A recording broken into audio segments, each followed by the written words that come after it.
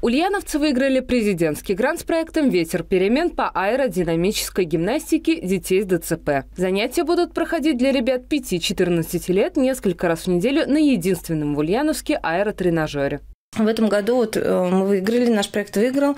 А теперь 40 детей-инвалидов из э, Ульяновской, Ульяновской области будут проходить вот в течение там, 6,5 месяцев реабилитацию в аэротрубе. Это уже не первый проект организации. В 2021 году сотрудники уже побеждали с проектом «Летай со мной». Тогда в нем приняли участие 25 детей. Масштабы проектов по адаптивной физической культуре растут из года в год. Владельцы еще на этапе создания базы с аэротрубой мечтали не только дарить людям яркие эмоции, но и помогать детям с ограниченными возможностями. Занимаются с детьми профессиональные инструкторы, прошедшие специальную подготовку. Они знают всю специфику работы с детьми-инвалидами, чтобы достичь достичь желаемого результата? А, во-первых, э, практически весь мышечный корсет спины работает, это прям очень точно.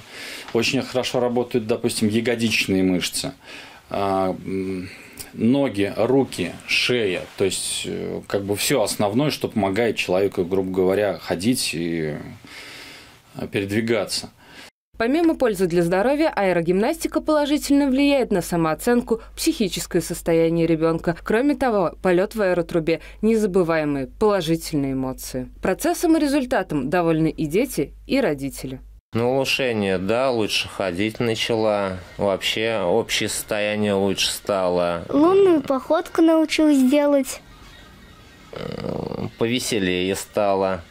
Кира также ходит в бассейн и дополнительно тренируется, ведь аэрогимнастика в Ульяновске доступна только в теплое время года, а физическая активность детям с ДЦП нужна всегда. Занятия в аэроклубе для детей-инвалидов начнутся только весной, когда температура на улице будет комфортной для них. Проект, выигравший президентский грант, далеко не последний. Владельцы аэротрубы будут стремиться к новым победам.